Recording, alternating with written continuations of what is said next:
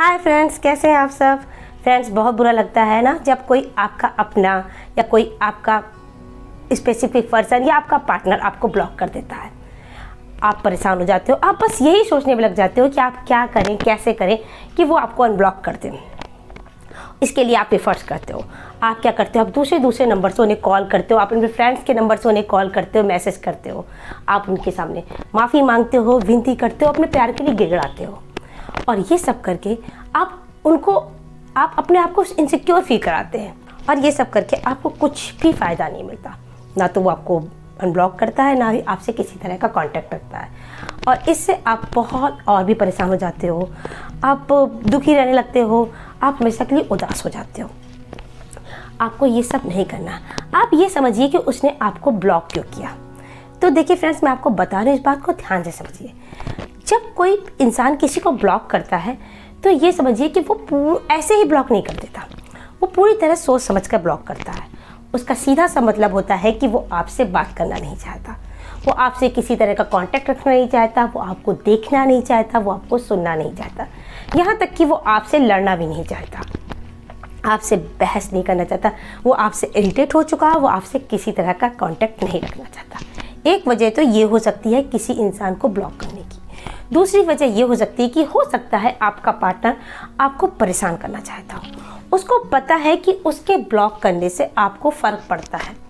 आप परेशान हो जाओगे, आप दूसरे दूसरे नंबर से उसे कॉल करोगे मैसेज करोगे सॉरी बोलोगे गिड़ाओगे माफ़ी मांगोगे। या तो ये वो वो आपका पार्टनर यही आपसे कराना चाहता है, या तो वो आपसे कांटेक्ट ही नहीं रखना चाहता। दो कारण हो सकते हैं किसी के आपको ब्लॉक करने के। तो दोनों ही सिचुएशन में आपको एक बात तो समझनी होगी कि आपको इस बार इस बार आपको अपने ऊपर सेल्फ कंट्रोल रखना है।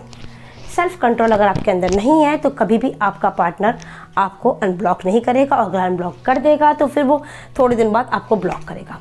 उसकी आदत पड़ जाएगी आपसे माफ़ी मंगवाने की, आपसे आपसे विनती करवाने की, सारी चीज़ें। तो अगर आप ये चाहते हो कि आपका पार्टनर ऐसे कभी ना करे, आपको ब्लॉक कभी ना करे तो आपको थोड़ा वेट करना होगा, आपको थोड़ा इस बार सब्र से काम लेना होगा मैच्योरिटी से काम लेना होगा। आपको सेल्फ कंट्रोल करना होगा। आपका बहुत मन करेगा अपने पार्टनर से बात करने का, उससे मिलने का, उससे सारी वजह पूछने का कि उसने क्यों ब्लॉक किया। आप, बहुत कुछ ऐसा होगा। लेकिन इस बार आपको अपने ऊपर कंट्रोल रखना होगा। ये बात तो पता है कि आपका बहुत मन करेगा उससे बात करने का। आपको लगेगा कि आप उससे सॉरी बोल दें कि आप लोगों की बात स्टार्ट हो जाए। पर नहीं, इस बार नहीं। इस बार आपको थोड़ा सा मेच्योरिटी से काम लेना है। आपको सेल्फ कंट्रोल रखना है। आपको उससे बात नहीं करनी है। इस बार आपको पहल नहीं करनी है। इस बार वो करेगा, आपको अनब्लॉक भी करेगा और आपसे सॉरी भी बोलेगा। तो फ्रेंड्स सबसे पहली बात तो आप ये याद रखिए कि चाहे जितना भी किसी से प्यार करो, पागलों की तरह प्यार करो, लेकिन अपनी सेल्फ रिस्पेक्ट को ज़रूर बना के रखो। आप किसी के आगे इतना भी मत झुको, इतना भी मत गिराओ कि आपकी सेल्फ रिस्पेक्ट छोटी हो जाए। आपको सेल्फ रिस्पेक्ट आपकी ख़त्म हो जाए, क्योंकि आप जब तक अपनी रिस्पेक्ट नहीं करोगे, आपकी कोई भी रिस्पेक्ट नहीं करेगा, आपका पार्टनर भी आपकी रिस्पेक्ट नहीं करेगा। एक रिश्ते में जितना ज़रूरी प्यार होता है, उतनी ज़रूरी ही रिस्पेक्ट भी होती है। तो फ्रेंड इस बार उसके ब्लॉक कर देने पर आपको कुछ भी नहीं करना। आप बहुत इफर्ट कर चुके हैं, बहुत विनती कर चुके बहुत माफ़ी मांग चुके इस बार वो सारी चीज़ें नहीं करनी है। आपको क्या करना है? आपको साइलेंट रहना है। आपको साइलेंट मोड पे चले जाना है इस बार। आपको ये दिखाना है कि आपको कोई फ़र्क नहीं पड़ता उसके ब्लॉक कर देने पर। और आपको उसको और अपने आप को दोनों को समय देना है। क्योंकि कुछ चीज़ें समय के साथ भी ठीक हो जाती हैं। समय दीजिए। शायद समय के साथ साथ चीज़ें अपने आप ठीक हो जाती हैं। तो आपका भी रिलेशनशिप ठीक हो जाए। और एक बात और कि ऐसा नहीं कि किसी ने आपको ब्लॉक कर दिया तो आपकी दुनिया ही ख़त्म हो गई। आपकी दुनिया ही रुक गई। आपकी दुनिया में और भी लोग हैं, जो आपसे बहुत प्यार करते हैं। आपकी फैमिली आपके फ्रेंड्स आपके माता पिता आपके भाई बहन बहुत ऐसे लोग हैं जो आपसे बहुत प्यार करते हैं। आप उनके साथ रहें, उनके साथ टाइम स्पेंड करें। आपको अच्छा लगेगा। आप आपके दुखी रहने से परेशान रहने से कुछ भी नहीं मिलेगा आपको। आप इस टाइम को अपने आप को बेटर करने में लगाएँ।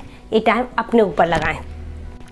लेकिन हाँ आपको ये सब करने में एक बात का ध्यान रखना होगा कि आपको अपने पे, आपको पेशेंस रखना होगा क्योंकि ये काम करने में समय लगेगा। क्योंकि आपने हमेशा क्या किया है जब भी उसने ऐसा किया है आपने जाके उसको सॉरी बोला है आपने जाके उससे माफ़ी मांगी गिराया तो इस बार भी वो इंसान ये सारी चीज़ों का वेट करेगा कि आप आओगे बोलोगे। पर आप इस बार ऐसा कुछ भी नहीं करोगे। तो वो एक टाइम लगेगा, वो वेट करता रहेगा आपका। और जब आप नहीं जाओगे, समय बीतता जाएगा, तब उसे एहसास होगा कि वो आया क्यों नहीं और वो आपके बारे में जानने की कोशिश करेगा। और वो आपसे कांटेक्ट करेगा, आपको अनब्लॉक करके आपके सोशल मीडिया पे देखेगा, सारी चीज़ें करेगा। आप कहाँ हो, क्या कर रहे हो, आपकी लाइफ में क्या चल रहा है। और जब वो ये देखेगा कि आप अपनी लाइफ में खुश हो, उसके बगैर भी खुश हो तो वो आएगा आपके पास, खुद से। खुद से आएगा अनब्लॉक भी करेगा सॉरी बोलेगा। लेकिन सबसे ज़रूरी बात है कि आपको इस काम में पेशेंस से काम ले लेगा, लेना होगा, क्योंकि इस बार समय लगेगा। तो फ्रेंड्स अगर मेरा वीडियो आपको अच्छा लगा हो तो वीडियो को लाइक करें चैनल को सब्सक्राइब करें, और मैं आपके लिए ऐसे ही लव एडवाइस लव टिप्स और मोटिवेशनल वीडियो लाती रहूँगी। तो मिलते हैं अपनी नेक्स्ट वीडियो में, तब तक के लिए बाय